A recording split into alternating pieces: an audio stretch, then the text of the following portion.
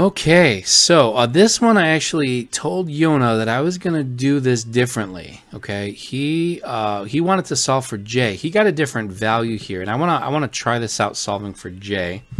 Um, so the J would be here. So what that means then, if this is on the opposite side, so let's say that you just arbitrarily chose J to solve for instead of L. Okay, now why am I using the law of cosines in the first place? Again, I'm gonna slow down a little bit um, is because it's a side, side, side. So the only way to break into and get angles for this is to use the law of cosines. And we're going to have to, this is basically the hardest uh, part of the law of sines and cosines. You've got to, when you got a side, side, side, that's when you got to solve for this guy buried inside the formula. So what you do is you go ahead and execute this. Now what I'm going to do is I'm going to kind of change it up so that I'm no longer solving for L. I'm going to solve for J first. All right. So if I do J, that means that this guy actually, um, okay, if J, that means this guy would have to be, if I call that a C for my formula, this would be lowercase c. Uh, this would be, I don't know, B, and then that would be capital B, and then this would be capital A, and this would be lowercase a. So I'm just going to label them pretty much arbitrarily, but I do want to shoot for J, so let's do that. According to this, I would have 21 squared, okay, um, minus, minus 11 squared, minus 24 squared. Okay. All right, negative 256. Now, I'm going to divide by negative a times b negative 2 divide by negative 2 times A times B. Okay, 0.48 repeating. So, with that then, I know that cosine x has to equal that.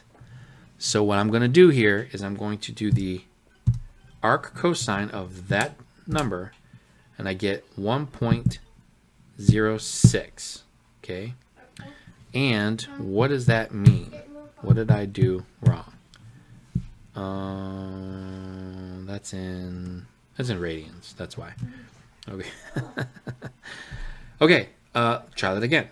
Let's go back to mode and go to degrees. All right, and now we will try that again. Second. That guy and we get 60.99. So that's 61. So J is 61. Okay. So J is 61. Cool. What about L? All right. So um, L would then be, uh, oh man, we got to do it again?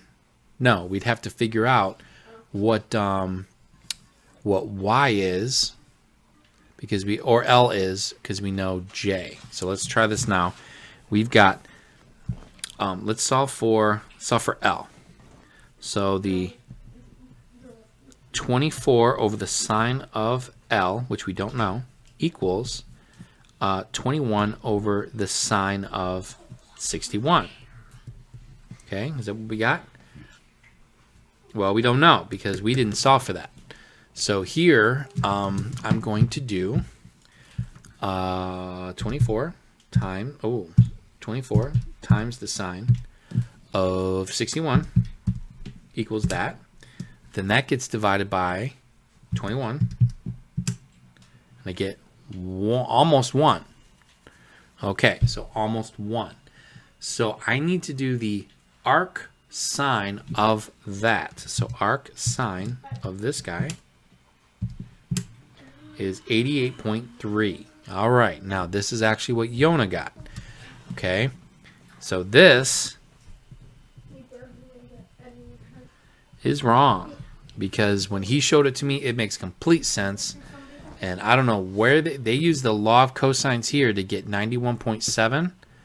Um, so my guess is that they trimmed some decimals.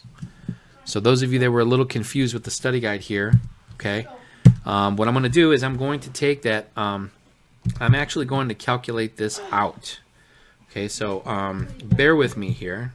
minus 11 squared. Okay, minus 21 squared. Okay, take that, divide by negative 2 times 11. oh, nope, no, no, we got to do parentheses there. Uh, times uh, 21. Okay, that's it. Okay, that's what they have here. But what I'm going to do is I'm going to do the arc cosine of that. I'm going to take all of those decimals. And let's see if we get this. 91.7. Well, isn't that interesting? What does that mean?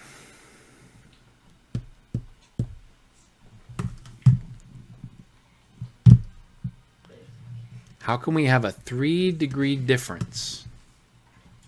91.7 minus. We've got a three and a half degree difference that does not add up. Okay. That is very fascinating. And I I'm trying to think of why that's the case. We don't have to worry about the ambiguous case, okay? I might have to, hmm. That is tricky. Tricky trick. Okay, well, um, man, this is an absolute conundrum. So how about that? Um, well, I don't want to make a video with me sitting here um, going hum. So I guess I I have not seen this kind of discrepancy. Okay? Like it shouldn't matter what angle you choose to solve from. You should be able to do it. And I just don't think that decimal differences should produce such a large result. A difference in result. Because three degrees in a big in the big scale of things, that's that's big.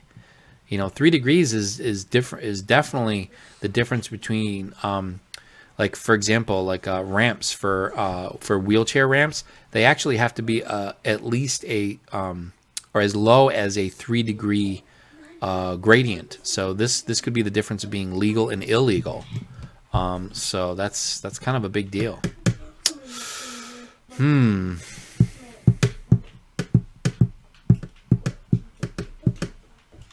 wonder why okay anyways uh, we're gonna have to move on um, I don't know. I'm gonna have to write some. I'll ask Chat GPT in a couple minutes. Um, let's see. Uh, AC, and we're gonna go here. This is a side angle side. Side angle side is perfect for law of cosines. So, um, the only side we're gonna get is this guy, and that's exactly what we want.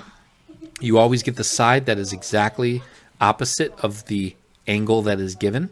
So side angle side is perfect pop that in. You're going to get this. All right, this guy is a uh, angle.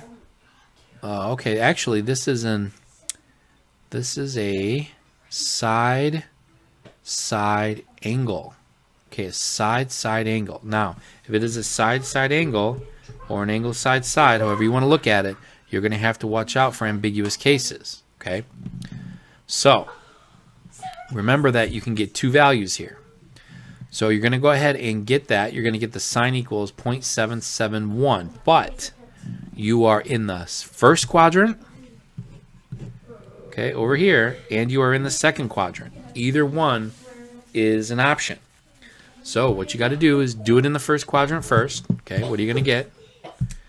Okay, you're going to get the uh, inverse sine of 0.771. All right, that's 50.4, which is what we got. Looks like they 50.4, they rounded. Oh, I need another 7. Got it. Okay, so 0.7771. Okay, there it is, 51 degrees. Okay, so this means I got 51 here, but also it means that I could have 51 here. Okay, now this right here is 51. So what you want to do is you want to take 180 and subtract that 151 so that not only will you have this guy, you will also have that angle. Okay? Because that could be a possibility. Now it looks like they got 129, but why didn't they cross it out? Well, let's see. Okay. If this is 47 and that is 129, okay, 47 plus 129 is not 180. It is less than 180. You are safe. That is an option. If it was 180, then it would not be a triangle. It would be a flat line. Anything 180 or above would be a flat line or not even a triangle. So that's why they kept this guy. So watch out for the ambiguous cases. It always happens here. Okay. So um, tricky one. Okay. And I really didn't understand this until I got to college, actually. So uh, it seemed like you guys had a pretty good grasp on it. So that was great when I saw you guys understand that. Um, but, you know, watch out for it on tests. You could have two possibilities. Okay, um, this guy is got a decline. Here's the setup. Okay, we got a side, side, side. It's got to be a law of cosines, but this is the only angle you're going to be able to get.